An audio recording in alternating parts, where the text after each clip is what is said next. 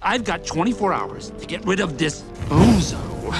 Well, the entire scheme I've been setting up for 18 years goes up in smoke, and you are wearing his merchandise!